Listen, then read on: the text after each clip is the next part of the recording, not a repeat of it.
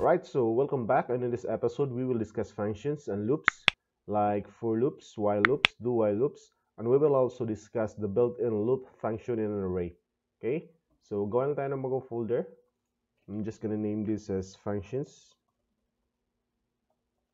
and loops. Okay, so inside this folder, as usual, gawa tayo ng index.html natin and our main.js. Okay. And then we'll just create our blank HTML structure. And we're just gonna name this as functions and loops. Okay, so let's just make h1 here. Copy lang natin to para may text lang tayo sa browser natin. And then we will link our main.js by using the script tag as usual. main.js.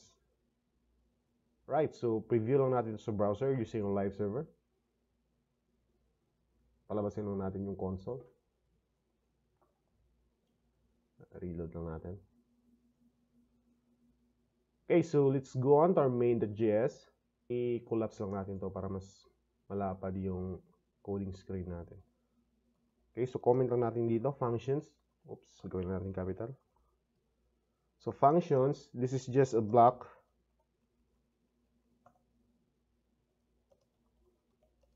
of codes you define that will execute when you call it. Okay. So to create a function, we will use the function keyword. So just like this, function.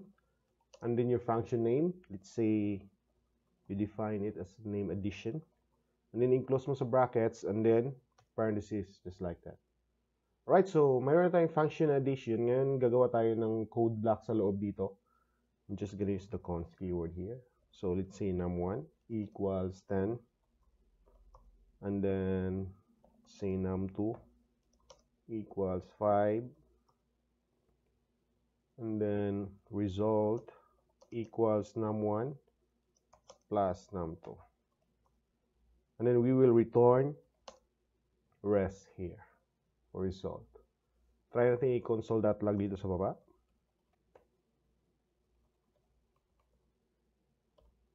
Okay, so i-console lang natin yung function natin na addition. And then brackets like that. So press Ctrl S on your keyboard. Now we have 15 here. Okay?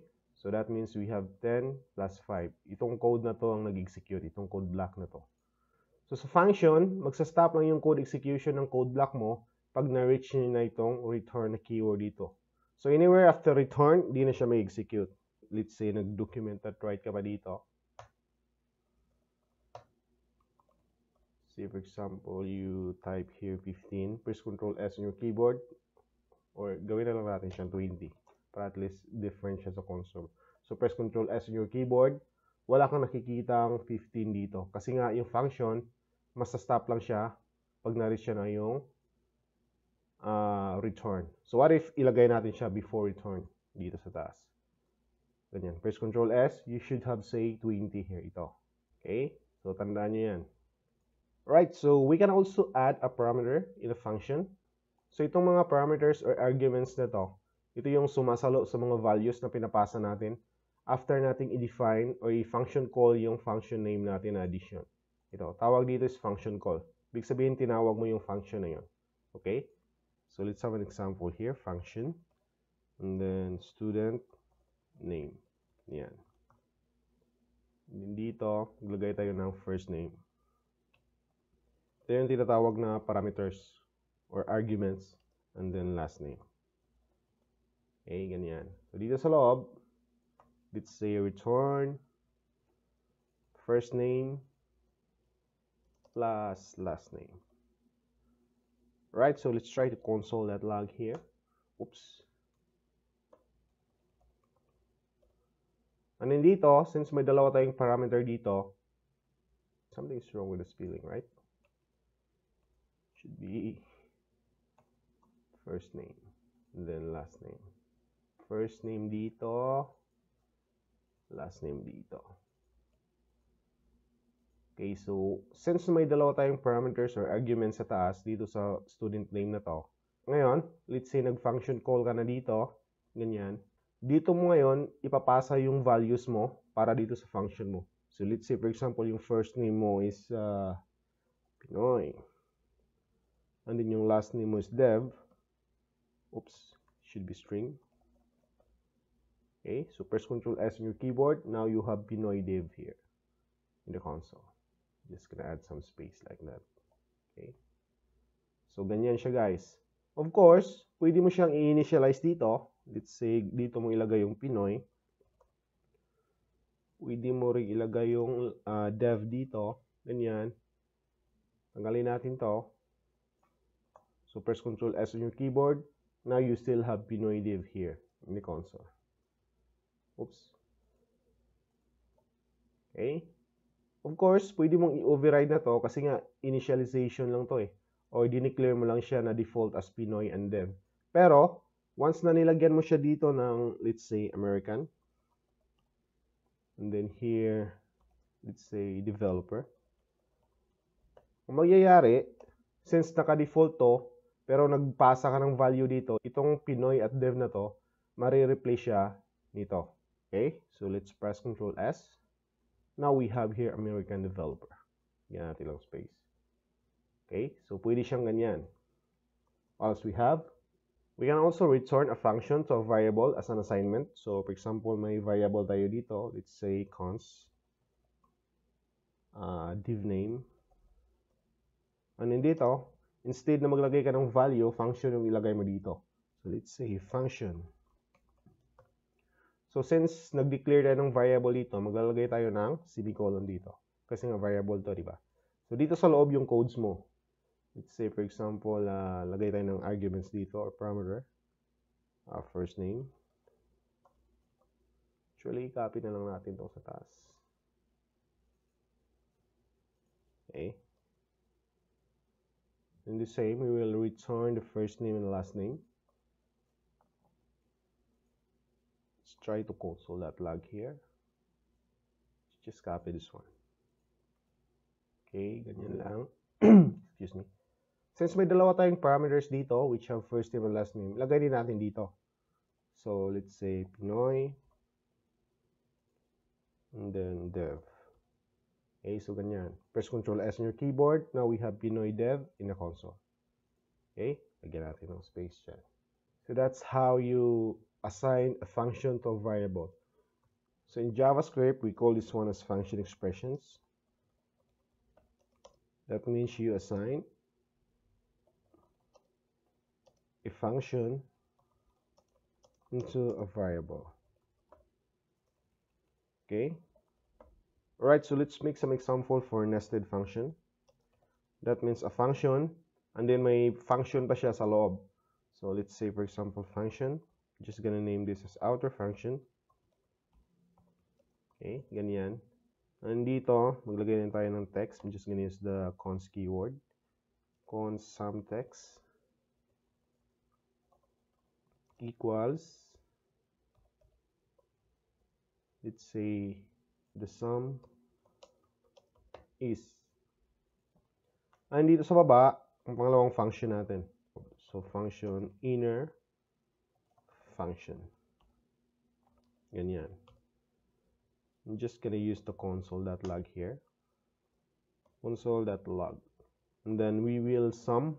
Let's just sum here num1 plus num2. And then magpapass tayo ng arguments dito or parameter na num1 and num2. Okay? Oh, we forgot to put the sum text here. So sum text plus num1 plus num2. Okay?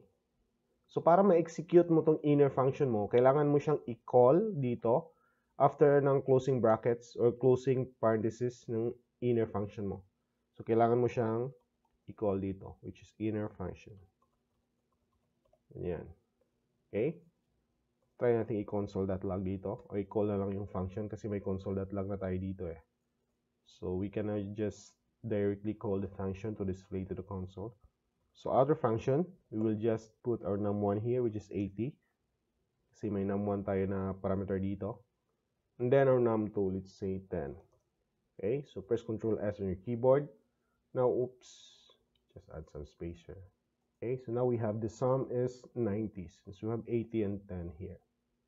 Okay, so that's how you create a nested function. So sa nested function, tandaan mo lang, yung inner functions mo, kahit ilang functions pa yan dyan, may access siya lahat sa mga variables dito sa taas, sa outer function mo. Eh, kasi ito part pa to ng outer function, di ba? Itong sumtext. Kasi nga nasa loob siya ng code block ng outer function. So tingnan nyo, ginamit natin siya dito sa loob ng inner function. Pwede siya. Pwede mo rin gamitin ang variables or arguments na nilagay mo sa outer function mo. Ito. So kung mapapansin nyo dito, in-access natin siya dito sa inner function natin. Ito. So that is how nested function works. We also have closure. So this is very important. Comment lang natin. Closure. Parang siyang functions or nested functions. Pero ang kinagandahan nito, kahit na na-execute mo na yung outer function mo, yung inner function mo, pwede mo pa rin siyang i-access. Okay? So, gawa tayo ng example dito. Define lang natin. This is just a function that has access to its parent function scope and remembers its variable even if the scope is already closed. Okay, right, so let's have some example for closure here. Function, let's say addition. I'm just gonna add one parameter here. I'm gonna use num1. Oops. And dito sa loob, gawa ulit tayo ng function, but this time, we will return it immediately by using the return keyword.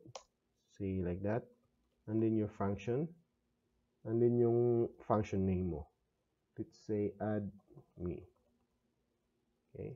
So that means add me we will add any number to num1 so let's see here num2 ganyan right so let's just sum the our num1 plus num2 here ganyan lang So, try natin i-output sa console.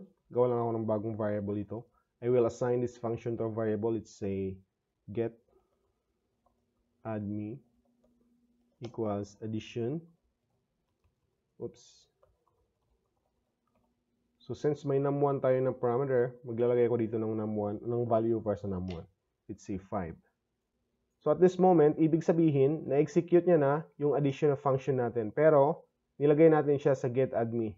So, ang kinagandahan ng closure guys, kahit na na-execute na itong addition na function natin, pwede mo pa rin i-access itong admin na function sa loob. So, let's say for example, let rest equals, and then itong get admin na to, kasi nga nandyan na yung function natin, addition, di ba? And then let's say maglagay tayo ng isang value dito, another value. Let's say 6. Try lang natin i-output sa console. .log say rest here. Okay, so press Ctrl S on your keyboard. Now we have 11 here in the console. So ibig sabihin, napipreserve niya yung value ng arguments mo, ay yung parameter mo dito, which is num1. Ito yun, di ba, 5. So kahit na-execute na natin yung buong additional function, kasi nga closure siya, pwede mo pa rin i-access ang function sa loob, which is ito. So nag-add tayo ng 6 dito, which is our num2. That is why we have 11 in our console here. Okay? So that's how closure works. right? So we can also create a function and then run it at the same time. So we call that one as ifis. Comment lang natin. Ifis. Pronounced as ifis. Ganyan. So ito, a function that can run at same time. So, ibig sabihin, pwede mo na siyang i-run agad kahit di ka na nag-function call. Ito yung mga function call, di ba? So like may addition tayo dito, and nag-function call tayo dito. So let's say, copy na lang natin itong itong function na to. Copy lang natin. So paste natin dito. Hindi mo na kailangan maglagay ng function name. So tanggalin natin yan. Ganyan yung format niya. And nandito sa labas, maglalagay ka ng open bracket. Ganyan. And then, i-close mo din siya dito. So ngayon, magtataka ka, paano mo siya i-call na wala siyang function name? Paano mo siya i-run? So in order to do that, dito sa pinakahuli, maglalagay ka ulit ng open and close brackets. Ganyan. So ibig sabihin nito, ito yung parang function call mo na. So kinreate mo yung function at the same time ni-run mo na siya. Ito. So try natin mag-console.log na lang dito. console.log. Ulit lang natin yan para ma-output siya diretso sa console. Okay, so press Control S on your keyboard. Now we have 15 here. So that is 10 plus 5. That's how ifs works. Okay, so we'll proceed with loops or looping.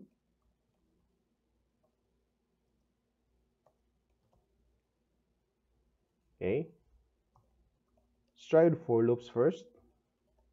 So sa for loop, gamit ka lang ng for na keyword and then open and close brackets and then open and close parentheses. Okay.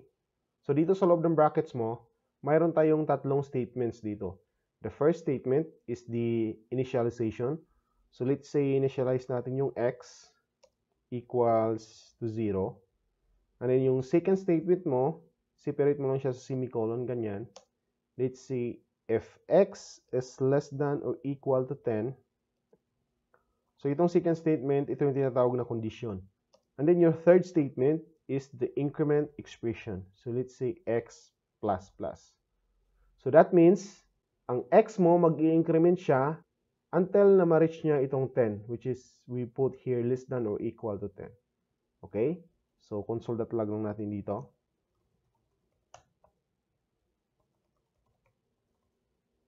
And let's say here counter.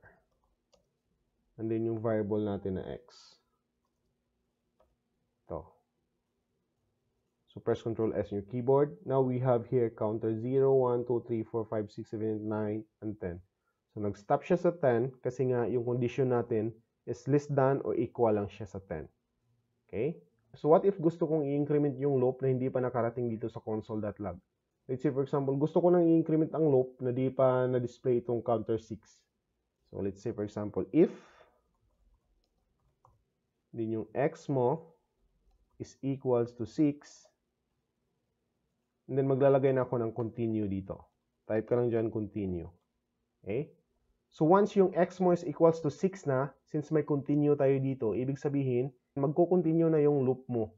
So di na siya dadaan dito sa console.log mo. So let's try to press Ctrl S. Now nawala na yung counter 6 natin dito. Kasi nga, nag-continue tayo dito. So di na niya dinaanan to. Okay? So what if gusto kong i-stop yung loop totally kahit di pa na-reach yung condition natin? So ibig sabihin kahit na yung x natin dito, hindi pa siya equals to 10, let's say sa 8 pa lang, i-stop ko na siya, or 6 or 7, gusto ko na siyang i-stop totally, so pwede din yun. Okay? So comment lang natin to. And then, try lang natin siyang i-stop dito sa baba. Can just type if. So gusto ko siyang i-stop when x is equals to 8. Type ko lang x is equals to 8. And then instead of continue, I will just type break here. So this will break the loop. Press Ctrl S on your keyboard. Now we only have counter 8 here. Okay? Now let's try a nested loop. Ibig sabihin may loop ka na, and then sa loob nun, may extra loop ka pa. So let's have an example here for, let's say x equals to 0 or equal to 1 x is less than or equal to 10 then x plus plus. Okay? So ngayon try natin i-output dito naman sa browser natin instead of the console. So I can just type here document dot write ganyan and then kung anong gusto mong ilagay sa browser mo so let's say maglagay ako ng ganyan and then a br tag after that. BR tag is just a line break. Okay. Ibig sabihin, the next document will be printed after this. Ngayon, gagawa tayo ng inner loop natin. So, for, say for example, choose y instead of x. Let y equals 1. y is less than or equal to 10 then y plus plus. Okay? So ngayon, ito yung outer loop mo, ito yung inner loop mo. Alright, so try natin i-output yung y natin. So document.write.ln. Ganyan. So baka magtataka kayo, anong pinagkaiba ng write sa write.ln? Itong write.ln, mag-add siya ng extra line after sa word mo. So write.ln, ganyan. And dito sa loob, try natin i-output yung y mo. Ganyan. So press Ctrl S on your keyboard. Now you have here, oops. Okay, so we need to add another document that right after the inner loop. Dito. Lalagay tayo ng BR dito. So line break. Ganyan. Oops. Okay, so press Ctrl S on your keyboard. So now we have our inner loops here. Ito. Ito yung nasa inner loop natin. At ito naman yung nasa outer loop natin. Alright, so nangyari dito, pag execute ng loop, nag-display agad tayo ng document.write sa browser natin. Ito, ito siya. Di ba? And then dito, yung inner loop natin, magra-run siya until na-reach niya yung condition natin dito, which is y is equals to 10. So that means pagdating dito, it will print y, which is 1. Ito siya, 1. And then since y is less than or equal to 10, nagwa y plus plus tayo dito. Ngayon, ang y natin, nagiging 2 na siya. Piprint niya ulit, ito yung 2. And so on and so forth. So once yung y is na-reach na niya yung condition natin dito, which is y is equals or less than or equals to 10, ngayon, mag-execute na siya dito. Itong document.write na to, which is our BR tag. So after dito sa 10, may BR tayo. So that means yung next na document na ipiprint mo is mamumove na siya sa next line. Okay? So since yung x natin, which is 1 is less than or equal to 10 pa, di-display niya ulit ito. Maglo-loop siya ulit. Which is, ito na siya. Diba? And so on and so forth. Hanggang matapos itong x. Or hanggang ma-reach ng x yung condition niya. Okay? Of course, pwede rin natin i-execute dito yung continue and break natin. So let's say for example, if y is equals to, say, 8. And type mo lang dito, continue, right? Press Ctrl S on your keyboard. Now, nawala na yung 8 natin dito. So, the same concept, di ba? So, we can also break the loop. Course, the same pa din. If, let's say, for example, y is equals to 8, Then, ganyan lang, di ba? Break. Press Ctrl S on your keyboard.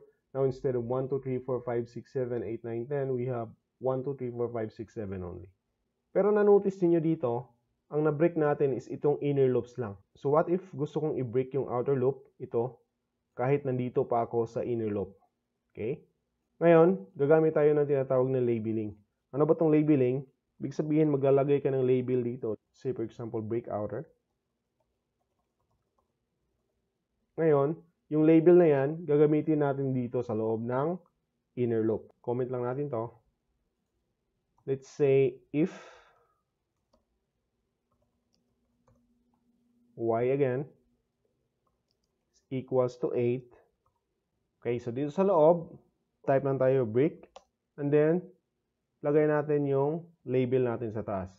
So, break outer. Ganyan. Press Ctrl S. Now, once yung y is equals to 8 na, ito, hindi na natin na console.log kasi nag-break na tayo dito, di ba? So, di na display yung 8 dito. Pero once yung y is equals to 8 na, na-break na tong inner loop mo, na-break pa tong outer loop mo. So, that's how you use label. Okay? Now, let's proceed to while loop. So, comment lang natin dito. While loop. And then, declare lang tayo ng variable dito. Select x equals 1. So, sa while loop, ganito lang. While open and close brackets, and then open and close parentheses. Ganyan. So, dito sa loob yung expression mo. So, let's say while x is less than or equal to 10, and then, itong code block na to, sa loob, dito, mag execute siya. So, console.log.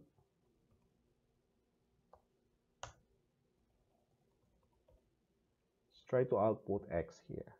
Okay? Ngayon dito sa baba, x. Okay? So while x is still less than or equal to 10, mag-ex plus plus siya dito. Press Control S on your keyboard. Now we have 1, 2, 3, 4, 5, 6, 7, 8, 9, 10 here. Of course, we can also create a nested while loops. Comment lang natin.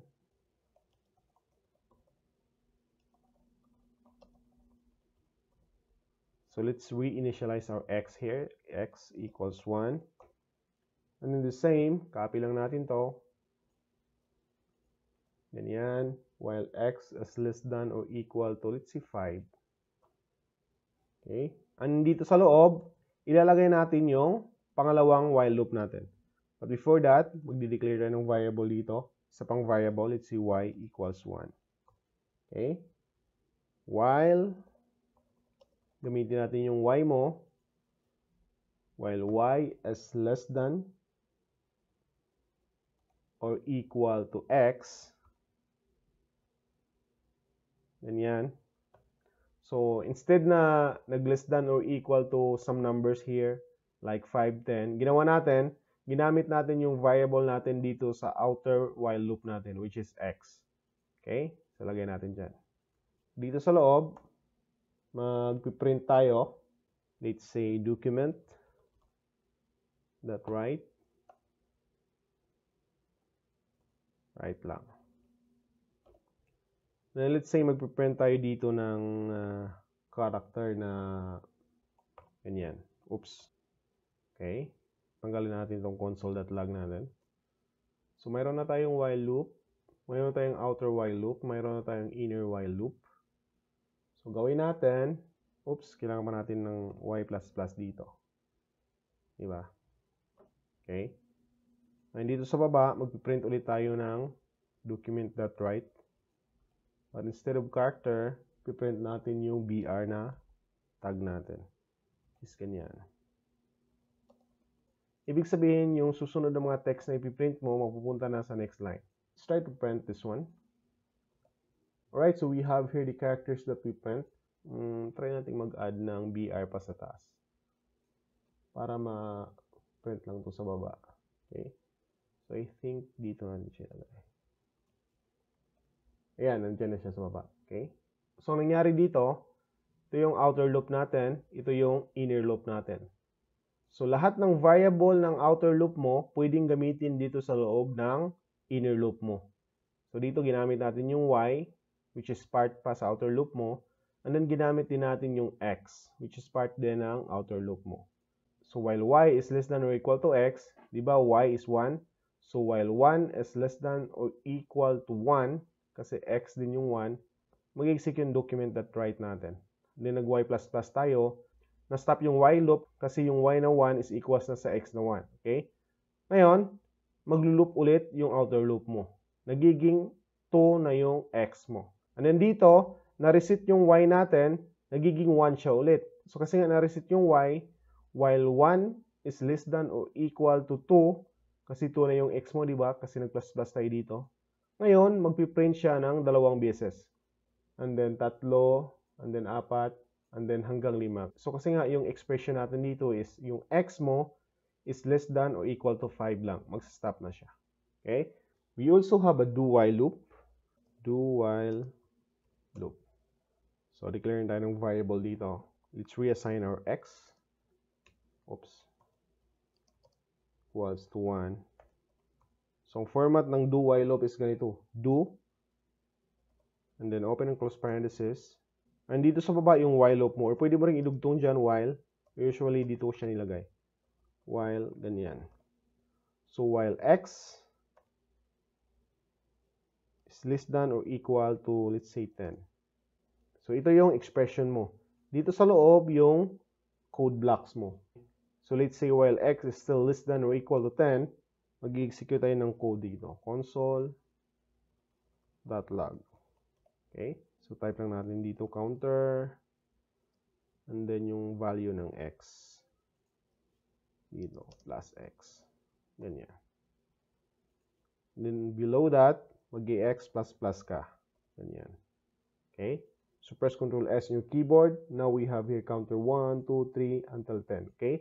Pero ang pinagkaiba nito, kahit na yung x mo is greater than 10 na, may execute pa rin to. Okay? So let's say for example, yung 10 mo gawin nating uh, 11. So press Control S on your keyboard. Kita nyo dito, nagiging counter 11 siya. So na-execute pa rin to. So ito yung pinagkaiba ng uh, do while loop. Comment lang natin dito. Will always execute even if the condition is not met. Okay? So, kanina nag-mention tayo na may mga methods yung arrays na looping. So, discuss natin dito. Let's try to loop an array. Right, so let's create our arrays. For example, const then ml heroes equals side brackets. And then yung value natin dito, let's say Lila. Then yung second value natin, oops, say uh, Gord, uh, Alucard,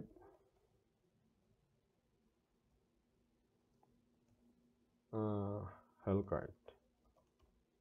Okay? So, meron na tayong array. Ngayon, kung i-loop natin siya, we can use the for loop. Ganyan. So, for let, initialize lang natin. Counter equals 0. And then yung counter is less than uh, ML heroes. Ito. Pwede natin kunin yung length ng email heroes natin by using the length property. Ganyan. And then counter plus plus. So, ibig sabihin, maglo-loop siya until ma-reach niya yung length ng arrays natin which is ito 1, 2 or 0, 1, 2, 3 okay? So dito sa loob try nating mag-console.log console.log natin yung uh, ML heroes. And then yung variable natin na counter. So ganyan press control S on your keyboard Now we have here Lila, Gord, Alucard, and Hillcard. Okay, so that's how you loop arrays. Pero yung preferred na version ko na mag-loop ng arrays is yung built-in na for loop mismo ng array. Okay, comment natin loop an array using its built-in uh, for each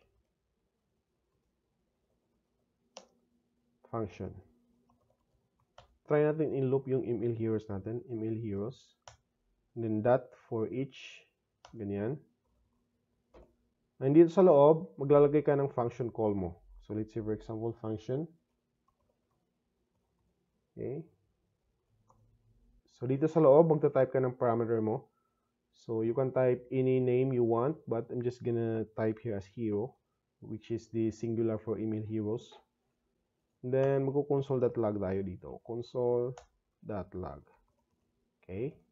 So, ibig sabihin nito, lahat ng value ng email heroes mo, niloop mo siya using for each, and then pinasa mo dito sa function mo na may parameter na hero. So, ngayon, para ma-display natin yung values ng email heroes natin, ito na yung gamitin natin, yung email heroes. Okay?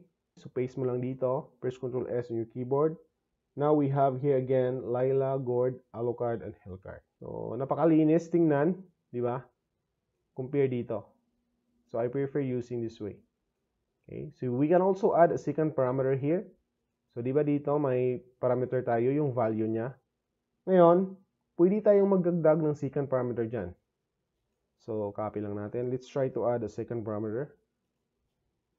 Add second parameter. Which is the index of the current array. So let's see here, uh, let's try index. Okay. But you can also change whatever you want. You can type here num. Okay. So try natin i-output dito sa console. Okay. So gawin natin template literals ito using backtext. And dito, try natin i-output yung index natin, which is, we name it as num. Ganyan. Colon. And then yung value natin, which is hero. Okay? So, ganyan. Hero. Diba? Press Control S on your keyboard. Now, we have our index on the left. And yung value natin ito. Okay? I can rename this to index. No problem. Oops. Palitan din natin to ng index. Okay? Oops. Y hero. Should be index. So, you can put any name you want here. Okay? Aside from that, you can also add another parameter or the third parameter. Copy lang natin. Add third parameter. Okay? So, tawag dito yung actual na array mo, which is the actual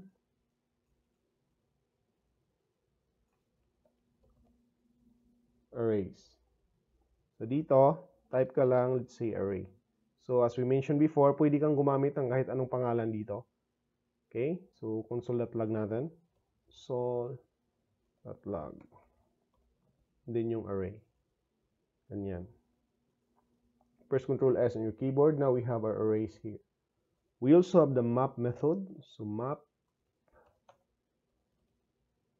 method. Okay? So, purpose nito, this is used to apply a function on every element in an array and returns the new array. Okay? So let's say for example array 1 equals then lagay tayo ng value dito 1 2 3 4 5 After that, gawa tayo ng panibagong array. Say array2 equals And then type lang tayo dito yung array 1 natin sa taas. Then dot map. Ganyan. And dito sa loob, yung function natin. Kasi nga, used to apply a function, di ba? So, gawa tayo ng function dito. So, just type function. And we will add a parameter here. See num1. Ganyan. And dito sa loob, let's try to return uh, num1 times, let's say 5. Oops. Okay. Magkukonsole.log lang tayo dito. Then i-output natin yung array 2 natin. Okay. So press Ctrl S on your keyboard. Now instead of 1, 2, 3, 4, 5, we have here 5, 10, 15, 20, 25. So ang nangyari dito, nireturn niya yung array 2 natin which is the map of array 1, but in-apply niya itong function na to. Okay? So, num1, which is 1, times 5, that means equals 5. And then the second element of the array, which is 2, times 5, we have 10. And then the third element, which is 3, times 5 equals 15, and so on. Okay? So, it applies a function to every element of an array. So, that is how map function works. Okay? We also have a for in loop so we basically use this for objects. Let's type here loop an object using for in. Okay? So, kaya tayo ng object dito, alam niyo na yun, di ba? Cons students equals, let's say, ID 25 and then name say Pinoy dev. And then let's have our age here. Let's say 120 okay? So for in ito lang 4 okay ganyan at dito sa loob yung expression mo let's say let then yung variable mo let's say student in students, which is yung objects mo. Okay? And dito sa loob, let's just say console.log. Then let's just make this as template literals. Let's say student Lagay tayo ng colon dito. And then, students, which is the object. Then close it with open and close brackets. Lagay mo yung student dito. Ganyan. Press Control S on your keyboard. Oops. Something's wrong. Ah, this must be dollar sign. Press Control S. Now we have here student's object, the ID and the value. Okay? So kasi pag ganyan lang nilagay mo, ID lang yung lalabas or key lang yung lalabas. So that's how you use for in loops. So I think guys, nandito lang muna yung video natin. Sa next episode, i-discuss natin yung window object. And then right after that, magsimula na tayo sa DOM manipulation and DOM selectors. Okay? So thank you for watching and please subscribe to our channel para marami pa tayong mga tutorials na ma-upload dito sa channel na to. Alright?